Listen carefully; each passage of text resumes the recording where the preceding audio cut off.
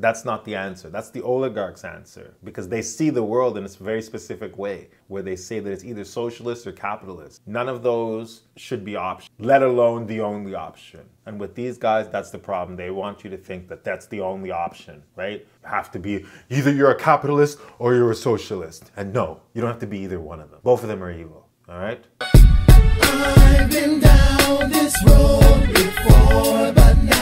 Welcome back to Big Foe Nation, people. I'm Big Foe, and if you've been here before, you know exactly what's about to happen. Somebody's about to get the kibosh.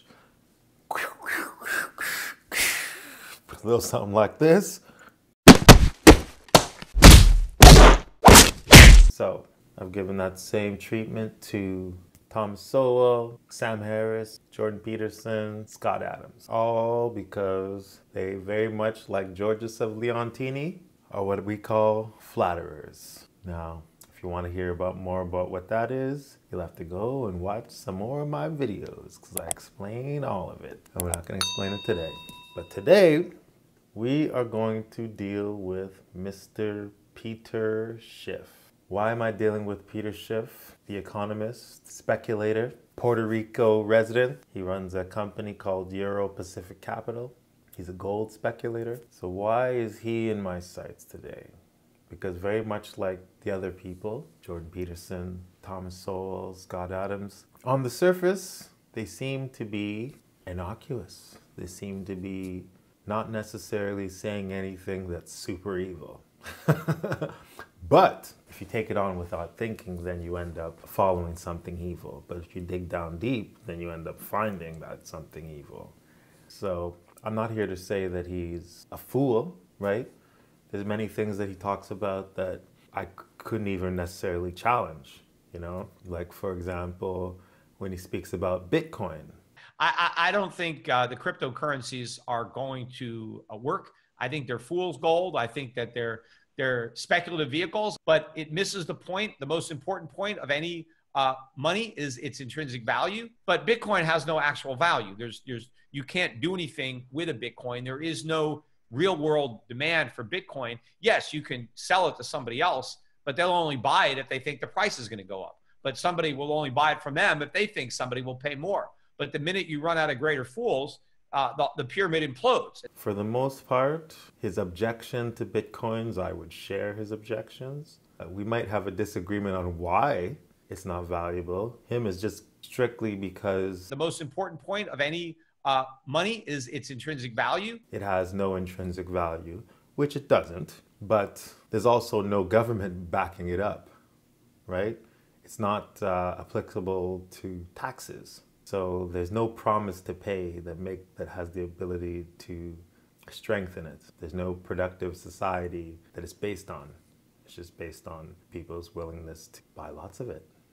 So we pretty much agree that bitcoins are not necessarily a good place to put your money unless you're a speculator, unless you got a lot of money that you can put behind, or unless you can get in really early. What he says about inflation, generally agree. How he describes inflation from bailouts of big banks. There's nothing really that I can say against that. One more thing that we agree on is going to be the basis of this video here, and that is that we have a date with with destiny here. We are going to have a financial collapse. If we look at it, the economic system as it is today, he's speaking about America, but not just in America, worldwide. The economic system is in big, big, big, big trouble. And if nothing is done, we could be heading towards some sort of a collapse, you know, a big collapse. Not just a collapse of the dollar, but collapse of like all the agreements that different countries have with each other. If all of this stuff collapses as bad as it could collapse. But although he's correct in saying that we are heading for trouble, he's really wrong, dead wrong, when it comes to explaining what should be done about it. Even though it means people lose jobs, investors lose money, uh, you know, loans go into default, companies that are not viable go bankrupt, resources are freed up to be reallocated more efficiently and more productively. That includes labor and, and, and capital and land. Let new owners step up and buy in bankruptcy a lot of these companies that were so mismanaged and allowed you know consumption to come down and savings to go up and new owners come in. And more importantly, they're going to be more responsible than the owners who failed. So his solution is the worst possible solution that you could ever recommend. So if you accept his ideology or his take on how an economic system works, you know, laissez faire, where the federal government does very little. Uh, so the federal government is very small, does very little, uh, relying on Adam Smith and the invisible hand and, and, and the wonders of, of the free market.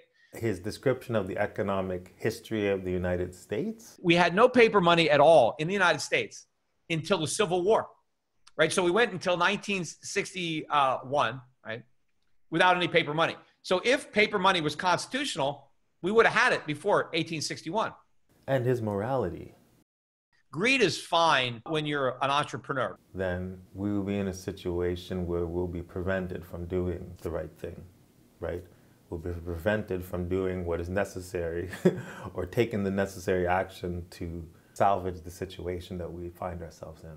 So, what I'll do here is briefly explain his stances in those three places, what I just described, this way that he sees the economic system, how he thinks of it as working, his history of the United States as he sees it, the economic history of the United States as he sees it, and what he thinks is moral behavior. So I'll go briefly into those and then contrast them with the reality. Okay.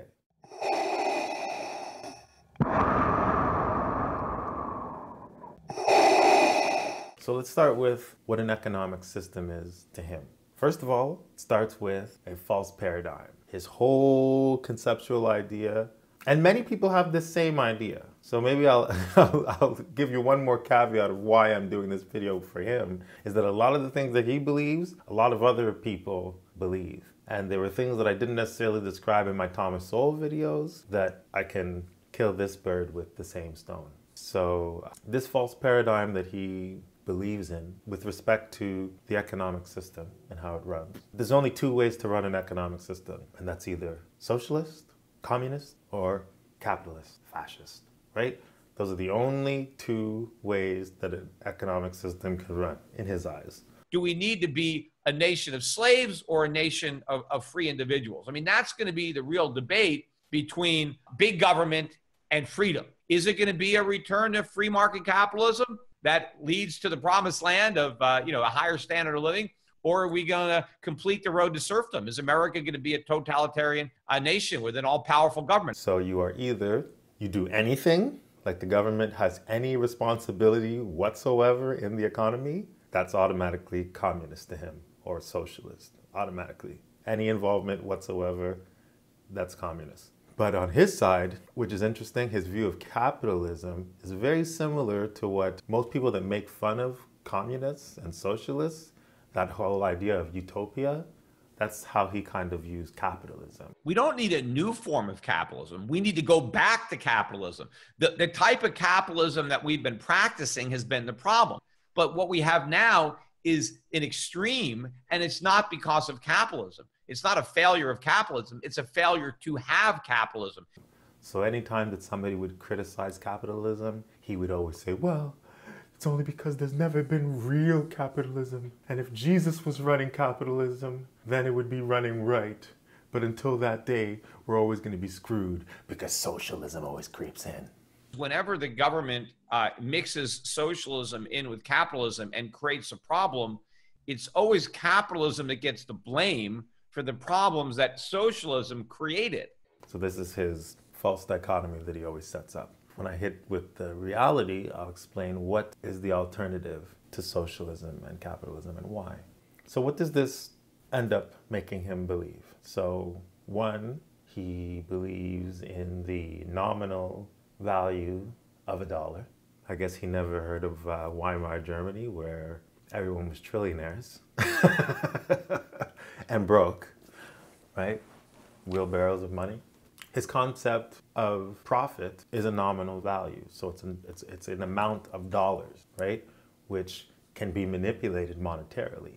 And his concept of money, generally, the way that he sees money is something that should have an intrinsic value. So for him, money can only be gold for the value of the metal, the malleable, non tarnishing metal that gold is. The most important point of any uh, money is its intrinsic value. The reason that gold worked as money is because of the inherent value of the metal, uh, its properties as a metal, uh, and the fact that it has so many uses. Uh, it's the most useful metal on the planet, uh, whether it's uh, for conducting electricity, all the other applications it has that makes it such a good metal for jewelry or you know or other applications. You know, gold is valuable and gold can store that value indefinitely. Silver for similar reasons. But if he knew about what money has been historically, he would know that in England back in the day, they would use tally sticks, right? So that would just be two pieces of wood that go together. So you split them, and the one half the government keeps, and the other half goes into the economy. That's a tally stick. In certain parts of West Africa, they were using cowrie shells.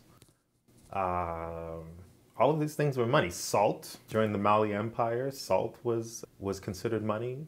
So money can be anything. I don't know what the intrinsic intrinsic value is of a tally stick. You can't do anything with that tally stick other than return it for taxes, which is more closely related to what money is. Money is a declared value, but he doesn't believe in a declared value, which is why he rails against what he believes is fiat currency. Uh, we don't have sound money at all. Uh, we have fiat money, just paper money they create out of thin air that has no value. Which does have its problems if it's not directed in the in a correct way. But just fiat currency per se is not just intrinsically evil but he believes it is. And why does he believe this? Because he's a lover of Enlightenment philosophers and British ideologues of the of the Enlightenment, such as John Locke and Adam Smith. To give you a little bit on John Locke, because uh, most of what Adam Smith believes relates directly to John Locke. So this is a guy that's a founding member of the Bank of England. If you go between like 1672 or so all the way up to like 1701. He was like the Secretary of Trade and Foreign Plantations on the Board of Trade uh, for two kings, King Charles II and King William. And in those positions, as the Secretary of, of Trade and Foreign Plantations and the Board of Trade, he passed the Woolen Act, Navigation Act, the revocation of, of all colonial charters. So th- these things that he was the, the the person that wrote, conceived of, came up with. These are the these acts that he came up with were literally the grievances named in the American Revolution. So when Peter Schiff speaks about founding fathers. Look, the founding fathers, the founding fathers, I mean, the founding fathers, uh, which is one of the reasons that the founding father by our founding fathers. He often refers to people like Adam Smith and John Locke, especially John Locke. And that's why he says things like that the, the most important thing is to protect your private property. We all have our inalienable rights of life, liberty, property, life, liberty, property, life, liberty, property, property, property. But even though John Locke did believe that, that it was the protection of property was like a fundamental right, America didn't believe that right? That's why they chose to say a pursuit of happiness, right? They could have said what he said, is that they, they wished to have a protection of property, but they didn't. They said they wanted to have a pursuit of happiness. America didn't go that way, even though that's the way that he imagines that America went, or he wants to believe that America went. Now, John Locke, what did John Locke believe about how an economic system works? He said literally this Tis with a kingdom as with a family. Spending less than our commodities will pay for is the sure and only way for the nation to grow rich. So a kingdom is like a family. You have to spend less than your commodities will pay for. That's how you get rich. So if that's what you believe, then yes, all of his recommendations actually make sense. Let's eliminate all these government programs, make government smaller, cut government spending, and free up all those resources back into the private sector. So that the free market can solve these problems. Now the private sector has more money to employ those workers productively. So there's there's a lot of light at the end of a free market tunnel because for him, he thinks cutting is the best. We have to reduce our spending. He thinks that the more money that people have in their pockets, the more they're going to spend that money on investments, and then the, the economy will just grow. I guess he was not there when all the bailouts were given and then all those different GCVs or whatever they're called, too big to fail, globally systemically important banks, they just held their money. They didn't spread them, that money around. A lot of people, when, when times are tough, they don't actually just go out and just spend the money if they have it, they save it.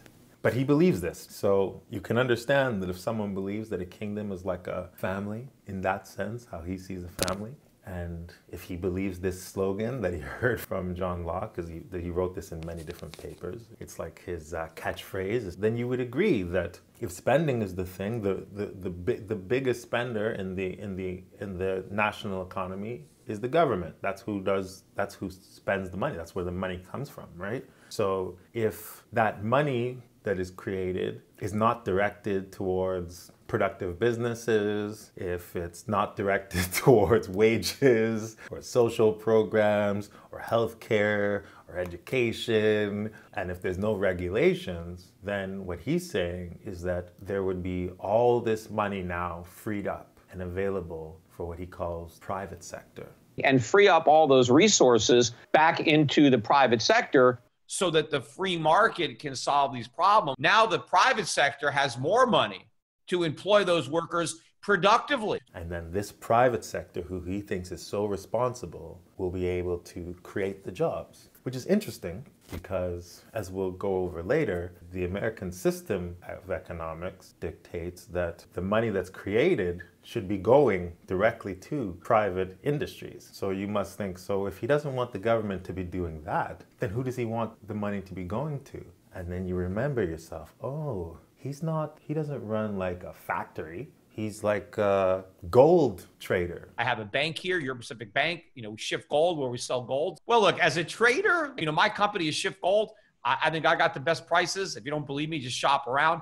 Uh, but I think you know people should be buying. And I've been telling people to buy gold for over 20 years. When I started recommending it as a broker, right? He's a speculator, so his money is made in the financial industry, service industry. He's non-productive, right? But every time he says private sector, you just think private as in non-governmental. But there's a big difference between like a Wall Street banker and like a steel manufacturer. So it's funny that he's saying that the government should not be trusted to divvy out the money, but the private sector, which is the bankers like him, right? They are the ones that the money should be made available for. So cut the schools, cut the wages of the people, cut the social programs, cut the healthcare, cut cut directed spending, right? Government, get out of the way. You just pay for the police to protect my stuff, his stuff, right? Because he owns he, he owns the gold. You know, my company is Schiff Gold. I, I think I got the best prices. If you don't believe me, just shop around. Right. and make the money available for him and his cronies. Now, as far as the, the history of the United States, this whole worldview that he has comes in a little bit even closer into, or a little clearer into focus because he's saying, like John Locke says, a kingdom is like a family. Spending less than our commodities will pay for is the sure way to become rich. Now, that's the sure way to become rich if you're like uh, like a oligarchy, an imperial oligarchy that's not really caring about production, that's really just rampaging all over the world and basically manipulating people into into giving up their resources by um, persuasion, violent persuasion mostly, interrogation and intimidation. So that is the way that the imperial mindset would be. And John Locke, Adam Smith, the people that Peter Schiff believes in, you know, he doesn't he doesn't believe in necessarily Alexander Hamilton or Benjamin Franklin. These are not the people that he mentions when he talks about the founding fathers, but he's always saying founding father this, founding father that, founding father this. Look, the founding fathers, the founding fathers, I mean, the founding fathers, uh, which is one of the reasons that the founding father by our founding fathers. But you notice when he when he actually says names, it's always John Locke, Adam Smith, Invisible Hand, Let the Market Decide, right? And these are people that didn't really believe like in morality, right? Let the God figure out how, how good things are. You do how you feel, follow your pleasures, and, you know, avoid the pain and, and don't worry about how things turn out. So when it comes to the his, the economic history of the United States, he says some really wild things here. He says things like paper money is not legal tender in the United States, uh, which is one of the reasons that the founding fathers, when they established the United States, did not want paper money, and so they specifically banned it. If you understand how the Constitution is written, you'll see that paper money is illegal in the United States. They, they said gold and silver are legal tender. They said no state can make anything other than gold and silver legal tender. And the only power they gave to Congress was the power to coin money, which is gold and silver. We had no paper money at all in the United States until the Civil War, right? So we went until 1961, right, without any paper money. So if paper money was constitutional, we would have had it before 1861. Right? But it actually does say in the Constitution that the Congress has the right to coin money, to set rates on it, and to regulate it domestically and foreign, right? Now, where he gets this idea, which is interesting, that they can only use gold and they could not use paper, is because the wording in the Constitution says coining money. But where he gets into problems is because money doesn't mean it has to be gold. Money can be anything.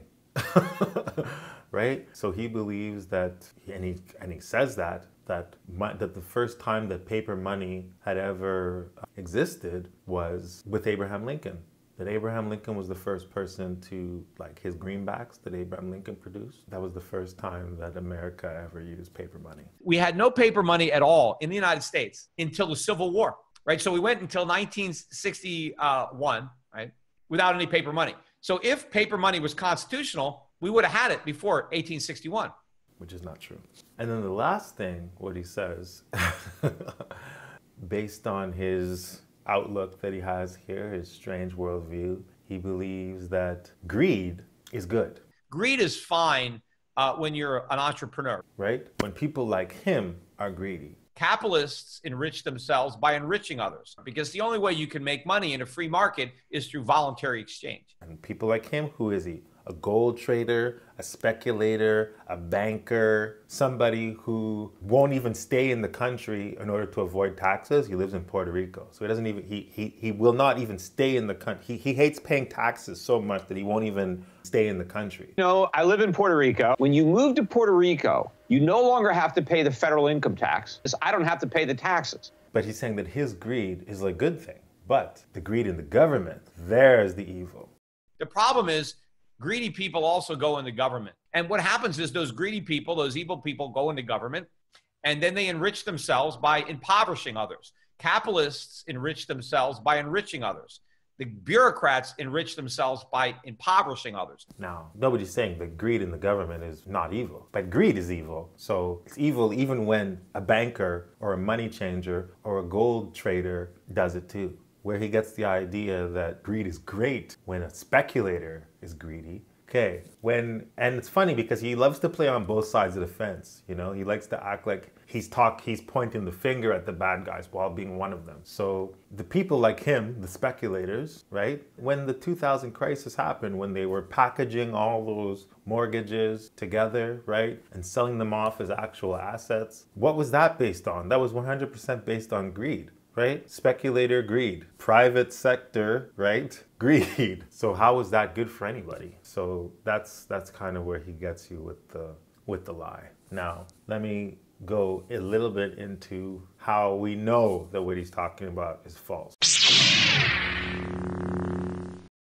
How does the economic system work, right? We spoke about that for him, profit is like a dollar amount, right? You measure profit in dollars. But in the American system, you don't measure profit in dollars. You measure profit in surplus of output production, right? Production output. So if you want to understand it, you think of it this way. Think about if, if, if your nation was, was, a, was a company, right? It was all like one big agro-industrial firm, right? The whole system, including like the the transportation, all the production that's required, all of that is all in one system. And you think of it like a thermodynamic system, right? Like chemistry, like any of you guys taking chemistry, right? So you have an experiment, it takes a certain amount of heat to make the, the experiment happen. If you don't have enough heat, the change won't happen, right? The desired change won't happen. And some and there's always going to be some sort of a loss, right? You're going to get some heat that's going to be that's going to escape out of the system,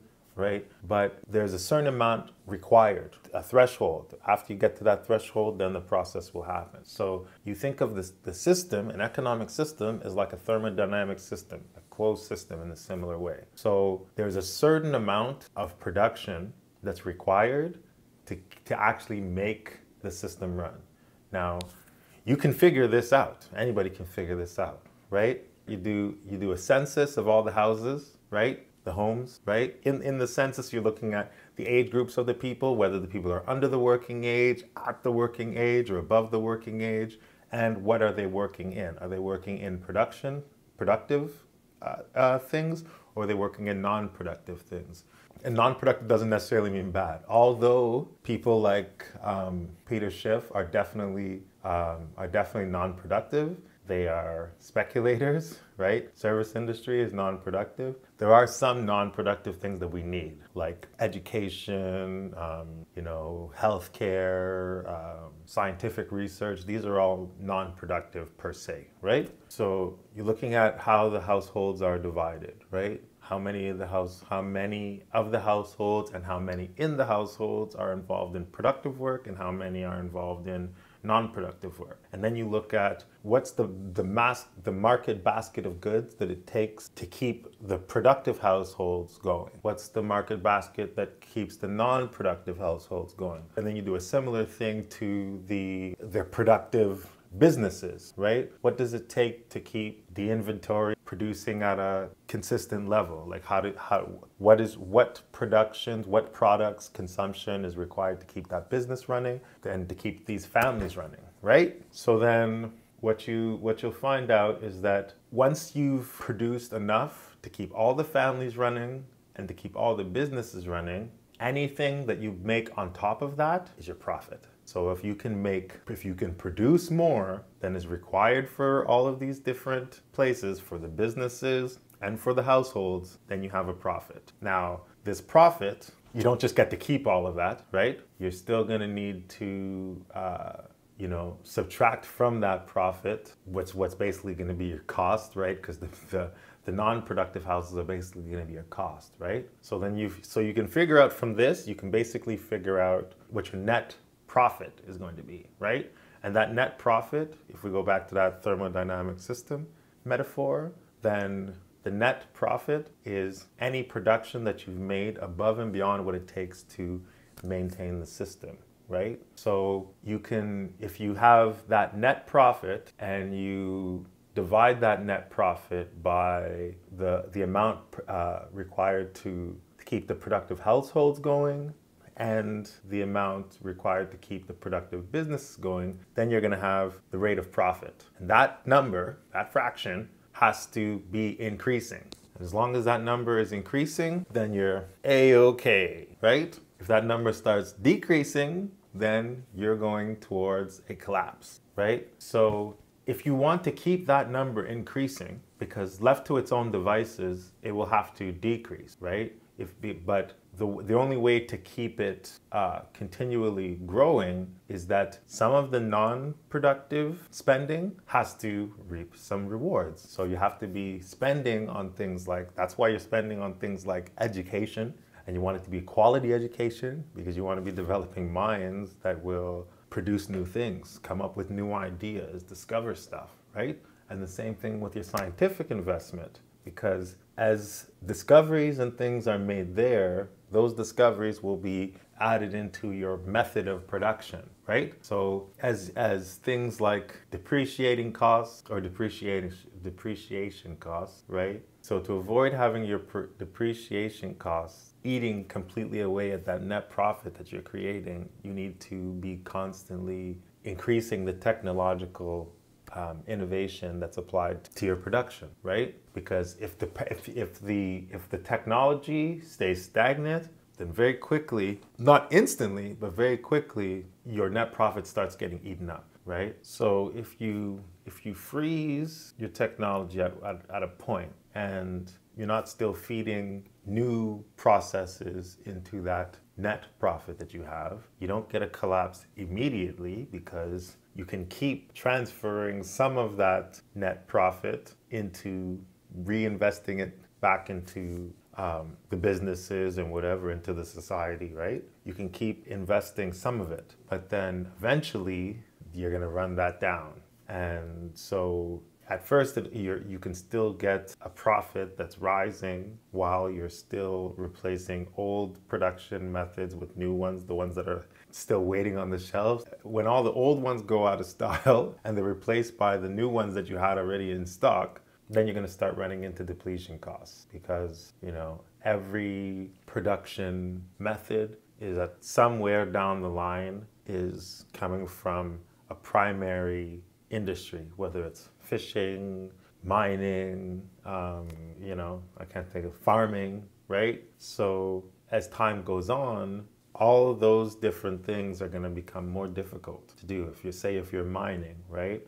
You, at the beginning, you're going to have really high concentrations of whatever it is that you're mining. But as time goes on, you're going to have lesser and lesser and lesser and lesser concentrations of whatever it is that you have. Say it was say it was uh, gold ore, right? At the beginning, the gold's everywhere. You can pick it up with your hands. As time goes on, the it gets thinner and thinner and thinner, and it requires more technological applications in order to uh, the same amount of gold, right? So once your processing stops improving, then you start getting hit with the depletion cost, right? And that depletion cost will wear out all of the, all of the profits that you've made. Now, once you're on this collapsing trajectory, right? At this point is where actually where we are right now. And this is where our friend is saying that the answer is to, and our friend being Peter Schiff, that the answer is to make cuts. But what I would have done on the federal level is I would have dramatically cut government spending and free up all those resources. Resources are freed up to be reallocated more efficiently and more productively. That includes labor and, and, and, capital and land. Back into the private sector so that they can be used efficiently again. But that new owners step up and buy in bankruptcy a lot of these companies that were so mismanaged and allowed you know consumption to come down and savings to go up. But that's unfortunately the worst possible thing that you can do because savings is not what was making this run and savings is what will actually kill it, right? Because if you start cutting the wages. If somebody is accepting a dollar an hour, and that must mean that nobody offered them a dollar fifty. Nobody offered them two dollars. I mean, this is a competitive uh, market. Right. People people are going to accept a job that's the best one they can get. And so, if somebody is working for a dollar an hour or two dollars an hour, by default, I know that they couldn't find a higher job than that. If you start cutting, you know, um, the social programs, the health care, and all of these systems that, that remember we were saying at the beginning that there's a certain amount that it requires to run households, to run businesses and all this. So if you start cutting that down, you're cutting down how much it takes to run a household. The household starts to fall apart. You're cutting down how much it takes to, that how much you're contributing to the business. The business starts to fall apart. So this whole thing starts to crumble. Your your your basis for creating profit starts to crumble.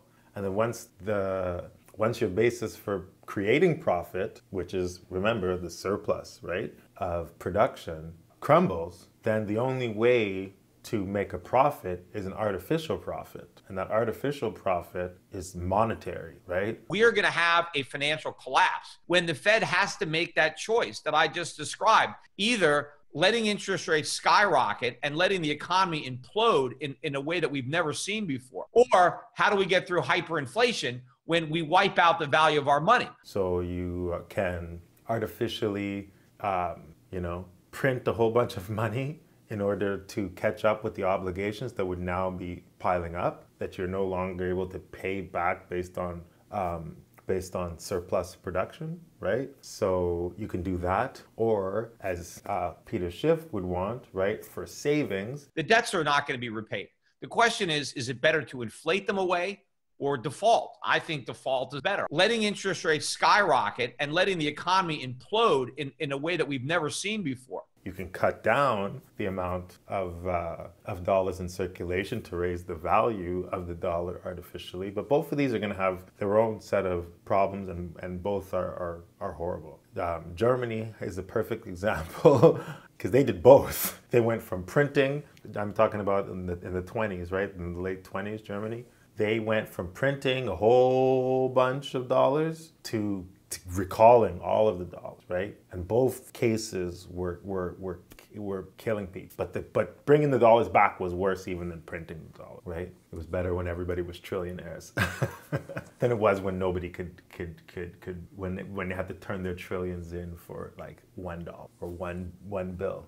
Um, so that's basically how it works. I wanted to be able to show you graphs and stuff like that, but I just had to explain it. So I had to make it a little bit simpler. I don't want to go into formulas and stuff like that. But generally, that's how it works, right? So there has to be a factor of improvement added to your to that surplus in order to maintain it. If you're not adding that factor which comes from the technology, if that's not constantly being added, meaning like investing in education and in um, and in scientific research, that's not if you're not feeding that in order that you're going to get that extra factor that will increase your your your your surplus while also decreasing the costs, right? Because it costs less to produce things when you are, are um, applying a higher level of technology to that production, right? But he ignores all of this, right? So he just pretends that the collapsing economy is just how economies are. Recessions is the free market's way of fixing the mistakes that the government and the central banks create. And so you have to allow a recession to run its course. The government has no money. So the government is powerless. And then the only way that you can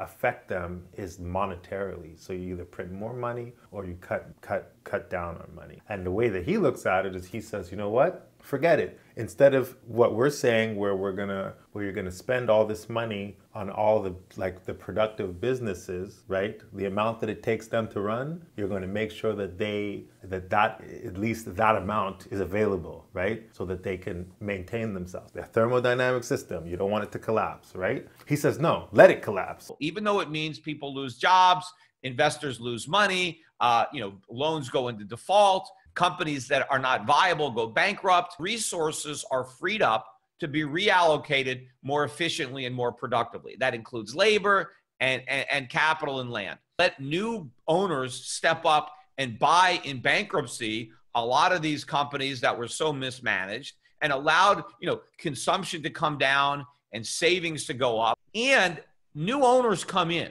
and more importantly they're going to be more responsible than the owners who failed right? Because from his point of view, once once all these businesses, these productive businesses collapse, then they'll be worth very cheap and people like him, the gold traders and speculators, can come in and buy it up. And from his opinion, they'll be more responsible, they'll run it more cheaply, run it more efficiently, run it more responsibly, right? Let new owners step up and buy in bankruptcy a lot of these companies that were so mismanaged and allowed, you know, consumption to come down and savings to go up and new owners come in. And more importantly, they're going to be more responsible than the owners who failed.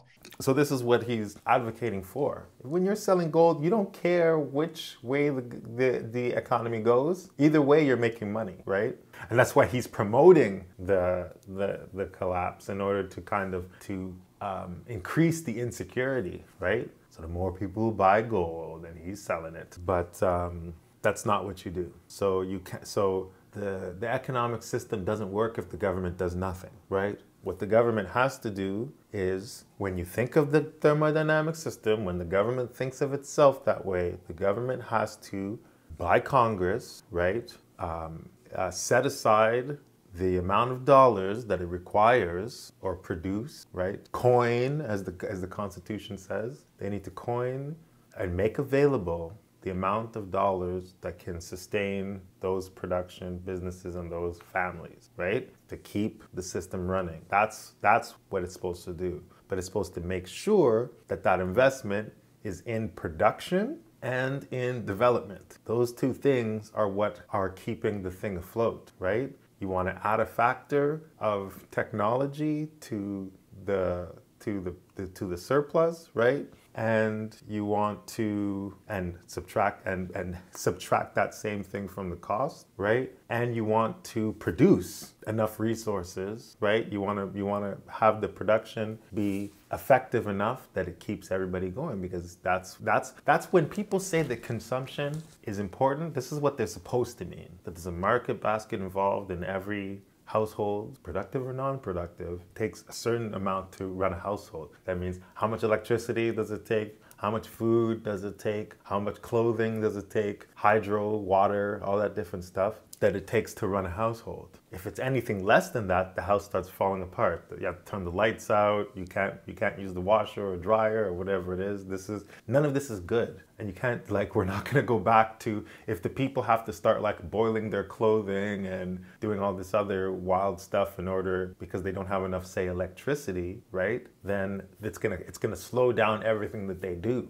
right? If you have to start washing your clothes with a washboard, right? You're not going to be as productive as a person because that's going to take a lot more time to do, right? If you have to start cooking over a fire, right? And like with logs and stuff like that, then, you know, it's going to be much more difficult to run a household than if you can run it with the electricity in the stove. So cutting is not as simple as he wants you to think it is. And that savings isn't a real savings because because what he's trying to save is a, again a dollar amount, and the dollar amount is basically a meaningless thing, right? A dollar, a dollar, a dollar is what you declare it to be, right? It's a fiat currency, which means I promise to pay, and this dollar is going to be worth whatever it's going to be worth in the next cycle because of all the stuff that we're going to produce. So we're going to produce all this stuff. You have one of those dollars. Look at the stuff you're going to be able to buy out of this surplus of production because we're going to produce more than it takes to run this whole thing. So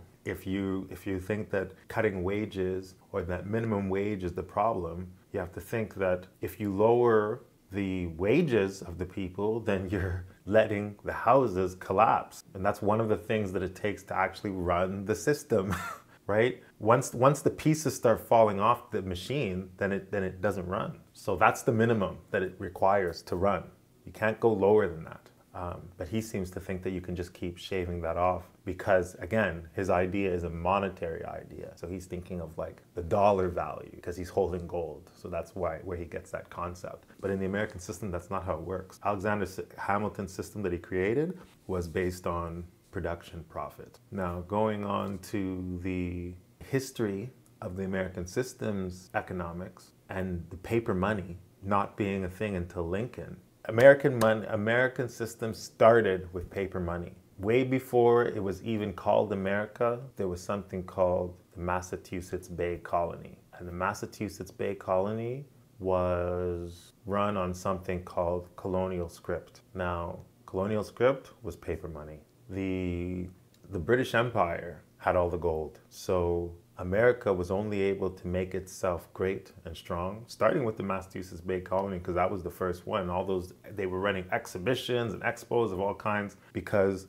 they were able to keep their machine going based on these promises. And by the time the promise comes in, they've created the surplus that backs it up. So that that was the fiat concept is is in, endemic or, or, not endemic. It's um, it's integral to to the American system. So you, it started out with the with the colonial script. Abraham Lincoln brought it back because Alexander Hamilton, who was the one who created this paper money system, um, was killed in a duel by a traitor by named uh, Aaron Burr. And once Aaron Burr took over, you know, they, they tried to get him, arrest him, and all that. He ran away, got away. But then things went a different way after Alexander Hamilton was dead. And if you look at Lincoln, he's someone that looked up to Alexander Hamilton. So that's what he was bringing back. One of the founding fathers, right? Alexander Hamilton is the person that wrote most of the Federalist Papers, right? He is the brains behind how America was running. The reason why America is different than France's revolution and a lot of revolutions because most revolutions will have you know a powerful person a strong but the strong patriot that's willing to fight you know what i mean people like jefferson you know that's he's a mixed bag but he was more one of those kind of guys right but he wasn't the brains right if it was left up to just people like jefferson america would never have survived but they had people like George Washington with the, with the you know the the courage and all this other stuff that he had, right? And uh, bravery and whatever that he had. But then it was mainly that he had people like Alexander Hamilton and Benjamin Franklin that were the brains of the operation, right? So Alexander Hamilton conceived of a new way of looking at the value of money. So it wasn't anymore about having silver or about having gold. It wasn't about the money itself having an intrinsic value because the money doesn't have an intrinsic value. It was about the value being in, in the, the productivity level of your of the of the people in your society. What kind of society can you create that makes the people have a certain high level of productivity. If you can make the level of the productivity of your citizens super high because they're really smart and they're educated and they're creative, then your value, your dollar is more valuable than somebody who's got a lot of gold and uh, no ideas, right? Like the uh, the Spanish, the Spanish when they came to America and found a whole bunch of silver, they were like bankrupt sooner or later, right? Just because they had all that silver, but there was no system to kind of run it. So Alexander Hamilton, uh, the system that he created was a paper money system.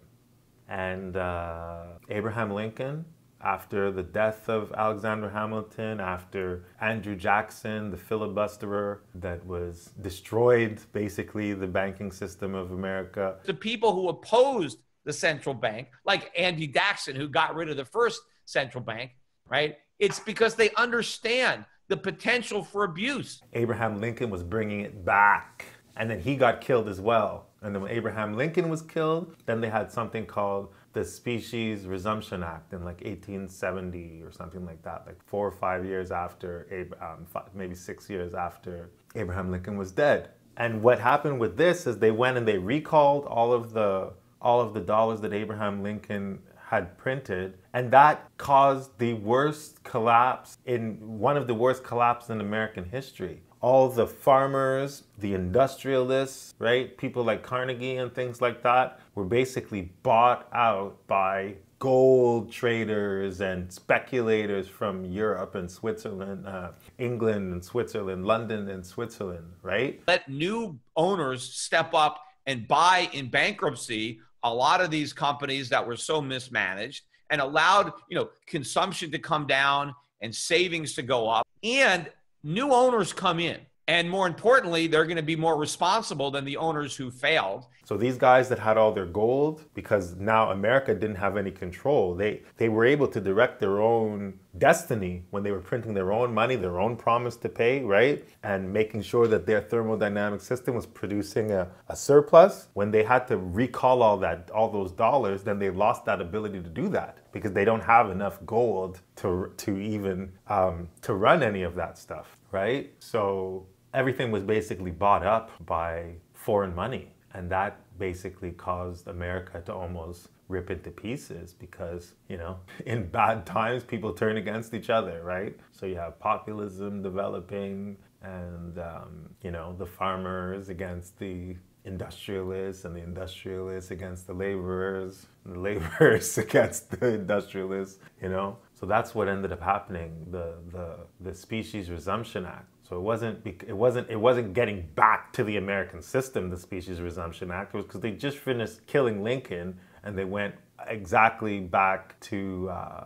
to what what Aaron Burr was running after they killed Alexander Hamilton. So that's a, that's a big fib trying to say that the paper money was not really in the system and that Abraham Lincoln was the first to do it. We had no paper money at all in the United States until the Civil War, right? So we went until 1961, right? Without any paper money. So if paper money was constitutional, we would have had it before 1861. Because when uh, when Franklin Roosevelt came back into office, you can see he referring back to Alexander Hamilton as well when he created things like the Reconstruction Finance Corporation and stuff like that. And uh, Kennedy, who was also in the same vein, um, and he came back with his with his printing. Right, all of these great uh, presidents that were killed. McKinley was another one that was that brought this system back. They killed his ass, killed Lincoln, they killed Kennedy. They tried to kill uh, Roosevelt many times, but he just kept living. But then he ended up dying, right, from uh, disease and stress and all that other stuff. So they ended up, you know, he ended up dying, which, but they, but they didn't get to kill him. But yeah, that's that's how the the American system works in terms of its paper money. Is that the value is not in the dollar. The value is not in the gold. The value is not intrinsic. It's declared. You declare it. That's where the freedom comes from, right? That's how they were able to free themselves from the British Empire and build themselves up bigger than any other nation had ever been. Look how strong his government was. Look at the military uh, machine that he was able to create, right? Look at Roosevelt. Look what he was able to create. Look at George Washington's um, America that was like a bunch of colonies, right? And look at how, how they were able to just destroy the, the British Empire, right? They were able to do that because of the system that they set up, or else they would have fell apart. Because that was the one thing that Haiti didn't have right? They had no control over their over their money. They were sucked into this same monetarist, gold dependent um, system, right? They weren't able to print their own money. They didn't have an Alexander Hamilton, right? They had a George Washington, they had a um, they had a Jefferson, but they didn't have an Alexander Hamilton, and they didn't have a Ben Franklin. So that's why they were not able to continually fight off the um, the French. Um, but yeah, that that was it was Alexander Hamilton that freed them by by inventing this paper money system. So what he's talking about there is just pure lies. And then when he talks about morality, Greed is fine uh, when you're an entrepreneur because the only way you can make money in a free market is through voluntary exchange. The problem is greedy people also go into government. And what happens is those greedy people, those evil people go into government and then they enrich themselves by impoverishing others. Capitalists enrich themselves by enriching others. The bureaucrats enrich themselves by impoverishing others. It's just evil, man. He's talking about how um, uh, greed is good, right? Greed is good when people like him are doing the greeting or being the greedy ones because like their greed helps everyone you know he provides a service that everybody people are willing to pay for or they're forced to pay for because there's no other options right but he, he he's he's he's the most parasitical part of the of the service industry. There are some elements of the service industry that are more useful than others, right? But generally the service industry is like a tax on the productive industry, right? In that, if we go back to that thermodynamic system that we're talking about, the non productive sector is a cost, right? But it's a cost that you're willing to pay because it is the one that's going to give the your general, your overall uh, surplus. It's going to increase it by a factor, right? And as you have other costs that are coming back in, like deplete, like depreciate, um, depreciation, depletion costs that are coming that are coming in over time, right? That is how you're going to keep the the rate of productivity increasing especially in a situation where the the printing of money brings a debt and because you have speculators this guy's also talking about no regulation which is what's so crazy. And more, as more as long as the government keeps regulating and micromanaging in many cases it's the regulations. We don't have the efficiencies because we have too much regulation. You need Guys, savings you need lack of regulation. Is because if your if your if your production is collapsing then you no longer have that surplus to retire the debt that that money that that created money is, is, is accumulating right but then if you have if you have no regulation then that accumulation can actually increase at a relation at a, at a rate that's not really relating to the the debt that was created in order to to facilitate the production. It can just be going at, at, a, at a much higher rate 10 times a million times higher right? Because you can have two people making a deal, a business deal, and you have some other, some other person that's making a bet on that business deal. And because that's from a financial institution, it still has to get paid. And this is basically what, what the Glass-Steagall law was supposed to do. It was that if you're uh, a merchant bank, you can't be out there gambling because we have to protect the banks. So if you're going to be a merchant bank that's going to gamble, then you should gamble on your own dollar, not on a dollar that has to be paid back to you by the government. So this is what it's so what why what he's saying is so like so evil. It's because basically what he's saying is that don't don't regulate, so allow the the the financial aggregates to grow at a ridiculous rate, right? Let them grow as whatever they do, and, and don't. It doesn't have to be have any relationship to the actual economy, and then make cuts to the um, to the, to the productive side of the economy, and so now you, you don't have the surplus to pay. So then all of these these these new debts these, that the speculators are creating has to get paid back with dollars. So when you're paying this back with dollars, he wants to continually cut the productive side. So cut the wages, cut education, cut all this stuff. That's why he. That's why he. These people always saying cutting minimum wage is the best. Uh, is, is is is the is the godsend. If we didn't have all these occupational laws, all these payroll taxes, minimum wage laws, all the labor unions. If somebody is working for a dollar an hour or two dollars an hour, by default, I know that they couldn't find a higher job than that. They need to be able to pay a person two pennies if they can, right? But the thing is, though, cutting wages is not going to make up for the growth of the of the financial aggregates and the and the and the, and the burden on the dollar itself. So that's a that's kind of a misunderstanding of where of of of how much savings are possible by making cuts because it's like you're cutting the engine. That's the that's the only thing that's making product production. He sees himself, the private sector people, the gold money changer people, he sees that as productive. He thinks that if he can have more money, then he's gonna spend money on on production and all this other stuff. But he's not. Because he doesn't he doesn't he has no intention of running it at a high enough level, right? Because he, he that's what he's saying. He's saying lower the wages. He wants to bid down. All the all the all the oligarchs, all the gold tra- traders can stand around and they'll they'll bid down. The he says bid up, but really they would be bidding down the uh, the price of uh, of wages. So you can't you can't do that. What what you're going to end up in that that's the easiest way to inflation. So inflation becomes basically inevitable at that point when production is getting destroyed in that kind of a way. And so you have two horrible things that are happening to the dollar at once. The production, that's actually the, the machine, the engine that can pay those created dollars back is getting destroyed. So how so this is so this is just this is just inflating. And then the debt that is uh, that is owed on that money is not just growing based on the on the money itself, but it's it's growing based on people betting on it. So that's like a, a, like a recipe for like a explosion, you know, and a collapse. So we are, that is where we are right now, though. So in a sense, he's right when he says this thing is going to blow up. But what he's recommending to stop it from blowing up is to let all the business, let the engine basically die.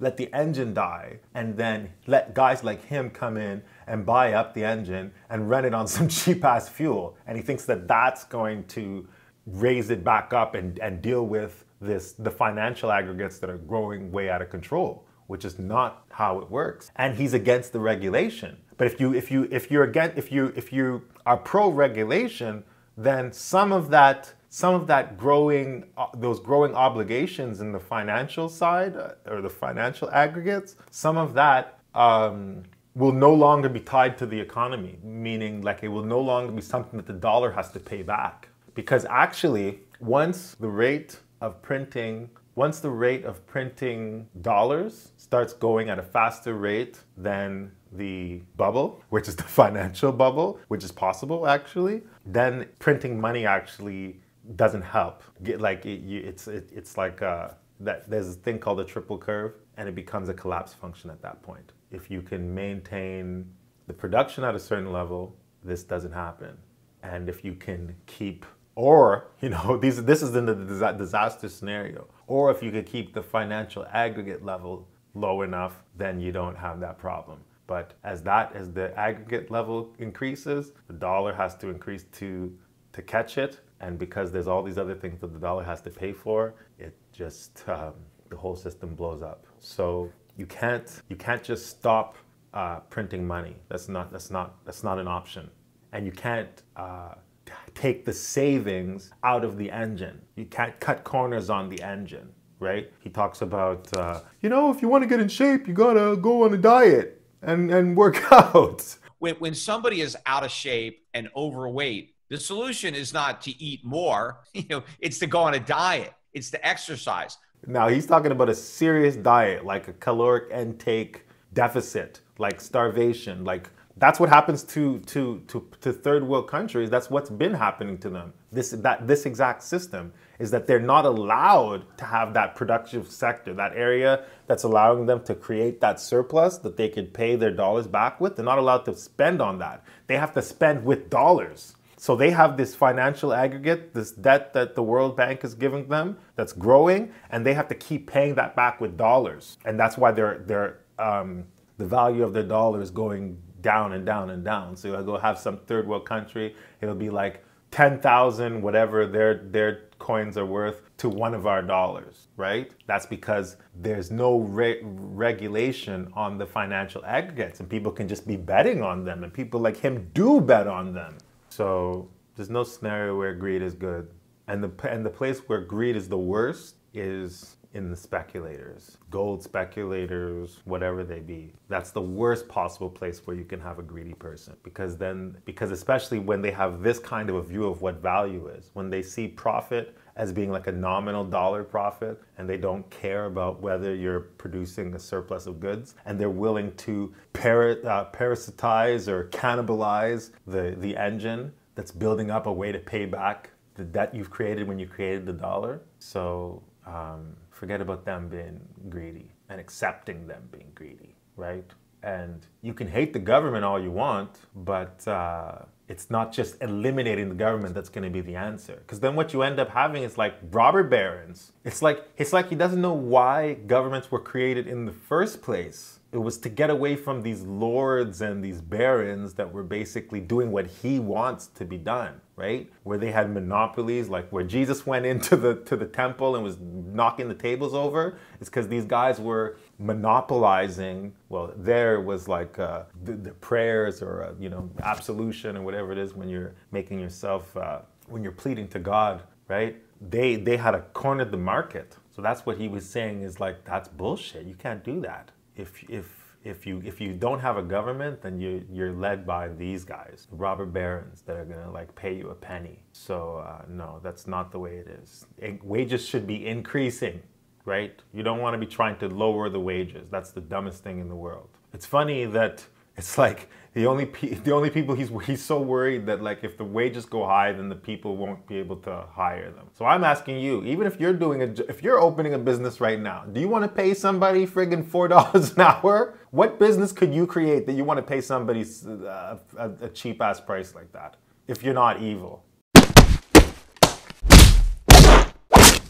I, don't know if I'm going to show this on a screen. Maybe I'll explain it now just in case. So you have a surplus of goods, right? And then you divide that by the amount that it the cost for keeping the households alive and also the amount that it keeps to take the businesses alive. And that fraction over time has to be increasing because that's your rate of production. So there are factors that can affect that fraction that we just set up there. So uh, to the numerator, you can either have something that's adding to the numerator which would be the factor of um, the factor of technology, right? Um, so either it's going to be something like that that's adding, or if there's no, if that if that factor is not being added, then you have to know that another factor is being subtracted, right? So if that if that if that positive technological advance is being added, that's that's a factor that's going to be added to the numerator and added to the denominator, right? but I mean added to the numerator and subtracted from the denominator. But if you do not have that factor of technology being added to this function, then you're going to have a factor decreased from the numerator and added to the to the um, to the denominator, right? And over time, it gets worse, where you're going to have two factors subtracted from the numerator and two factors added to the denominator, right? So if you kill technology, those are the functions that you end up um, having to deal with. And if you set an equality and you have the, the first function, say it's, say, say if you say that um, k equals the factor of growth based on, uh, based on technological advances, and you say that, um, or like K times S, let's say if you say S prime is the profit, okay? I'm gonna just speak it out and you can write it down. I don't know if I'm gonna show it to you or not. But if you say that S prime is the, the profit, right? The surplus profit. Then if you say that um, uh, C plus D is the product, C is the, is the, is the, um, C plus V. Is C is the, um, is the production, is the cost of, of a productive house, right? I mean, a productive, um, C is the, is, the, is the cost of a productive business, and V is the cost of a productive household. So S prime over C plus V, right?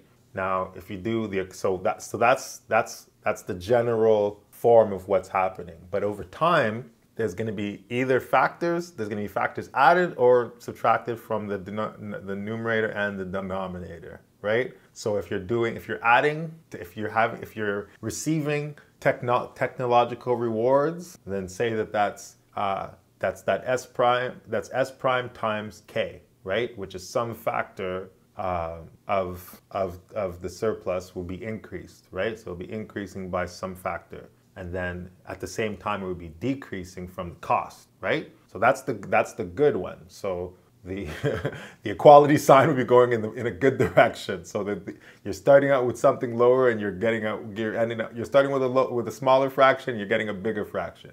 But then if you go from the, uh, but if but if your techno- technology is not increasing, then you're going to start out with uh, the s prime over c plus v on the one side of the inequality, and then the on the other side you're going to have some because the um, you're going to have the s prime being subtracted by say um, what would we call that? Say um, s prime subtract. So say say say d s prime. So some differential of s prime, right? So you're to have, so that, so, but that same differential is to be added to the denominator. So in this case, you're to have a, a function, it's to be getting, it's to be getting smaller. The number is getting smaller. And that, th- that rate of, of shrinking is only temporary because over time, another factor comes in, which is the depletion cost. So that's also going to be subtracted from the numerator and added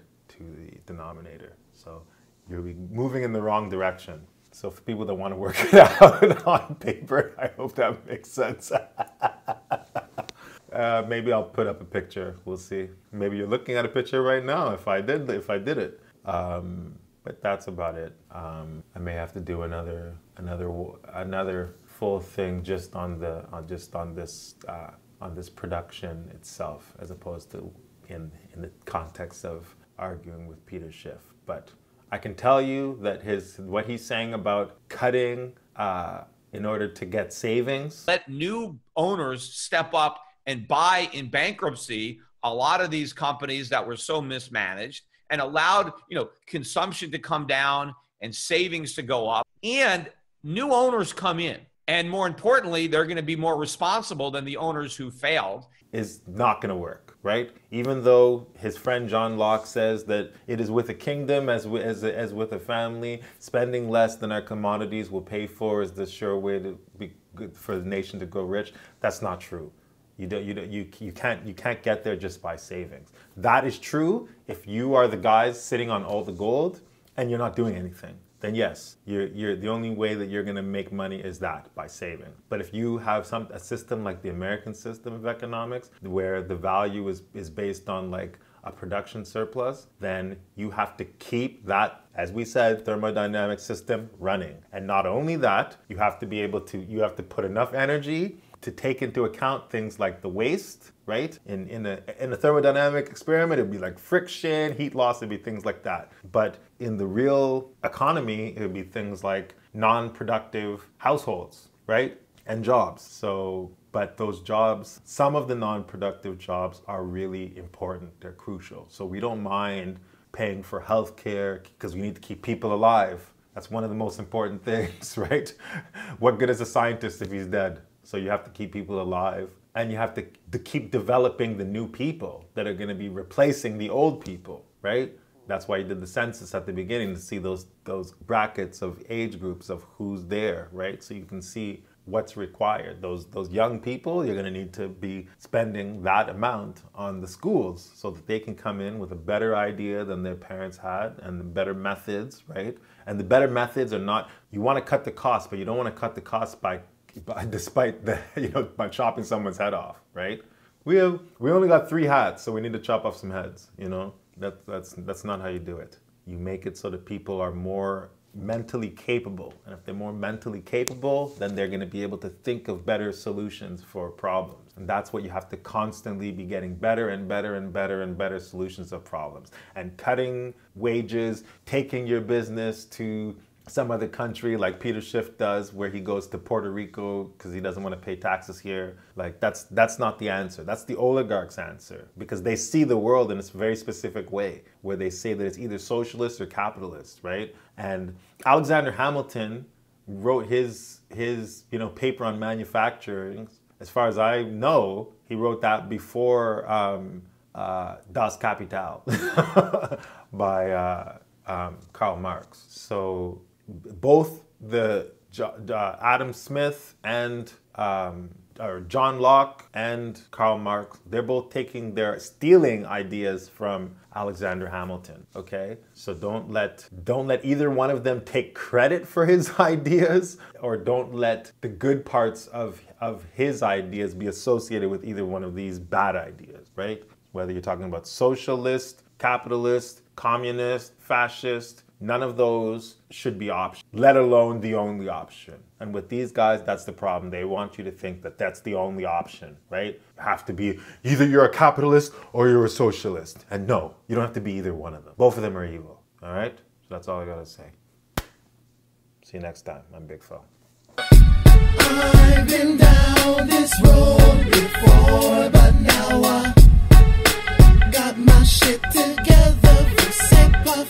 paper.